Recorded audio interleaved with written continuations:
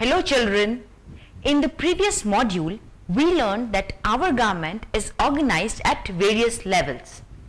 In this module, we will learn about the government at local levels in the villages.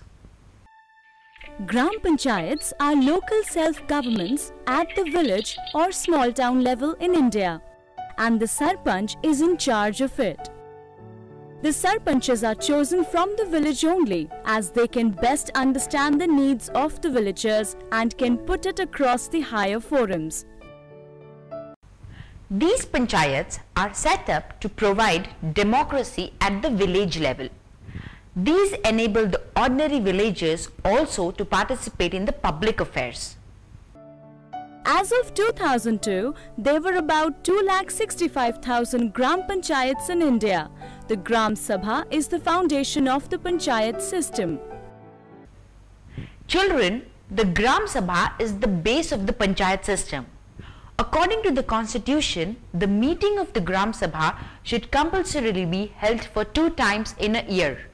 Our government has also notified the two dates on which the meeting should be held compulsorily, 14th April and 3rd October. Gram Sabha can be held as and when necessary and as many times as possible depending on the need.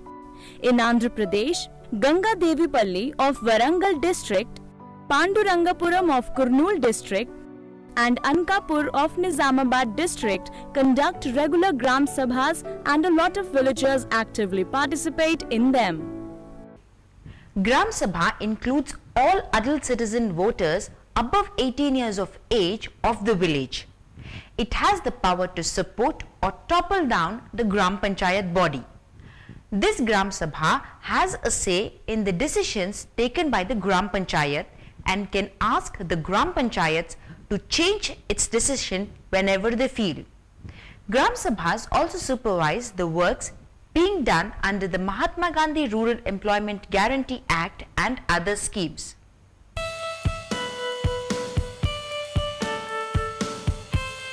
Gram Panchayat A Gram Panchayat consists of between 5 and 17 members elected from the wards of the village. Normally, the elections to the Gram Panchayat take place once in every 5 years. To establish a Gram Panchayat in a village, the population of the village should be at least 500 people of voting age. To ensure proper distribution of power, the villages are divided into several wards. Each ward elects one member to the village panchayat. Any person who is above 21 years of age can contest in the elections. Generally, one-eighth of seats are reserved for female candidates. There is reservation for SC, ST candidates also so that every section of society gets a chance for representation. Every person casts not one but two votes, one for the ward member and another for the sarpanch.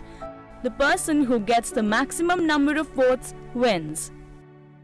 There are various committees like agriculture, health and sanitation, animal husbandry, public works and social welfare etc. in village Gram Panchayat to look after different areas of development in a village.